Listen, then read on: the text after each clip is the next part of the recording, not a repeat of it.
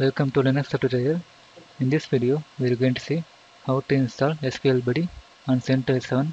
SQL Buddy is an open source database management application similar to PHP MyAdmin, which is used to manage your database in a graphical way. Now let's see how to install SQL Buddy. So before installing, we need to set up LAMP server because SQL Buddy requires for a LAMP server. So you must install the packages for Apache, MariaDB and then PHP.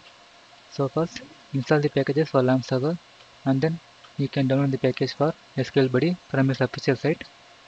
You can go to the site sqlbuddy.com for downloading the package. Now run the following command to download SQL Buddy package. Now use this command to download SQL Buddy from its official site. Now hit enter. Here you can see now the package is downloaded. So after downloading we need to extract the package into the document root of Apache. For that run the following command unzip space package name space hyphen d space document root slash var slash www slash html now hit enter so after extracting you can list your document root and then there you can see directory is created for SQL Buddy so we must set ownership and then file permissions for this directory. For that we can run the following commands.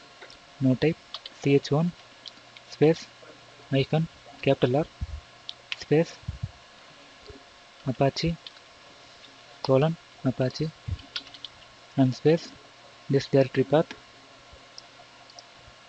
which is slash var slash www slash html slash sql buddy.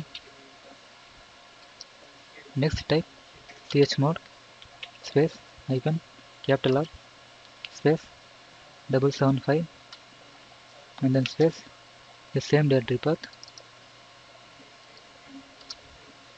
Now that's all. SQL Buddy is installed on your machine. Next you can open the browser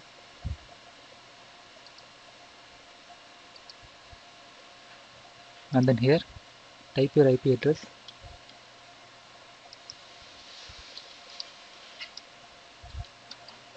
And then put slash then type SQL buddy. Now hit enter.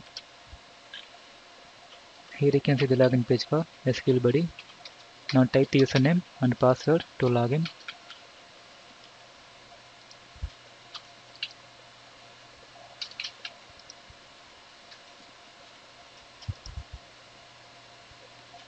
So this is how we can install SQL Buddy on CentOS 7.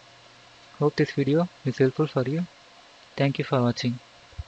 Thanks for watching. If you like it, please subscribe to our channel to watch more tutorial videos from us.